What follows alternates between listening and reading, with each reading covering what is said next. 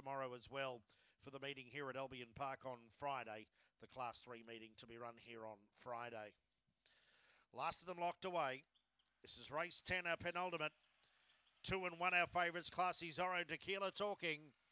Off now, Tequila Talking and Classy Zorro away well. Black Magic Mojo coming across though and we'll head them off.